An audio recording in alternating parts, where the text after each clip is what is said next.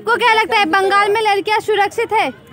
क्यों लगता है ऐसा? दीदी का राज है या दीदी का लेकिन योगी जी को तो कुछ और ही लगता है कि बंगाल में लड़कियाँ सुरक्षित नहीं है। नहीं जो लगता है वो बाहर में लगता है यहाँ कुछ नहीं। है जो भी है सब उत्तर प्रदेश दिल्ली में बिहार में ये सब में है ठीक है बीजेपी का राज है।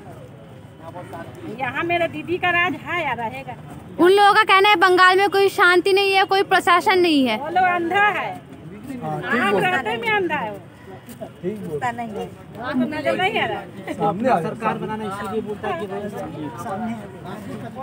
करता है वो अंधा कहीं देखा था यहाँ की नहीं सुरक्षित सब सही है यहाँ। हम तो यही चाहते हैं कि दीदी आए। दीदी है या दीदी रहे। लेकिन बीजेपी वालों को लगता है कि इस बार बीजेपी सरकार 200 सीट से जीतने जा रहे हैं। दीदी तो गई। जब जीतेगा तब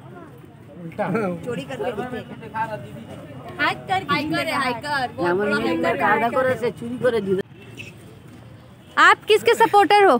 दीदी का। दीदी का क्यों? दीदी हमको अच्छी लगती है।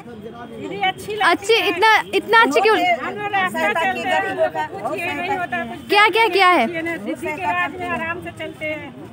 दीदी के राज में बहुत अच्छा से रहते हैं। लेकिन बीजेपी वालों का कहना है कि बंगाल में लड़कियाँ सुरक्षित नहीं है। झूठ बोलता है तो क्या बीजेपी अपना उत्तर प्रदेश को संभाले ना। उनका कहना है कि बंगाल में अगर बंगाल में वो चुनाव जीत गए तो यहाँ यूपी बनाएँगे। योगी जी का कहना है। वहाँ की लड़की लोग रहती है बेफरात कोई डर नहीं कोई भय नहीं अपना आ रही जा। रही है। हैं? उत्तर प्रदेश में क्या होता है? वहाँ देखे लेकिन उन लोगों का कहना है कि उत्तर प्रदेश में मतलब योगी जी का कहना है वहाँ बहुत विकास हुआ है जो बंगा, बंगाल में नहीं हुआ है। ये सब झूठ बोलता है सब। आपका क्या राय है? बंगाल में अब किसकी सरकार? दीदी का। लेकिन बीजेपी का कहना है वो दोस्तम में आई दीदी गई। वो अपना चोरी करके जीतेगा जैसे बिहार को जीता है। बिहार में दिया बजे को। दिया उनको दिया उनको दिया। बिहार में। उन लोगों का कहना है दस तो दीदी का दिया है। अभी एक बार चांस बीजेपी को देना चाहिए। एक मौका